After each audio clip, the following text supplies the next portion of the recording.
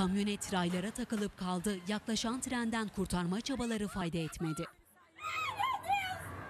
Brezilya'nın Rio de Janeiro kentinde meydana gelen kaza yürekleri ağza getirdi. Sürücü hemzemin geçitte takılıp kalan aracını kurtarmaya çalıştı. Yardımına koşanlarla birlikte çaba gösterdi ancak zaman dardı. Son ana kadar aracı kurtarmaya çalışsalar da hızla gelen yük treni kamyonete önüne katıp yoluna devam etti.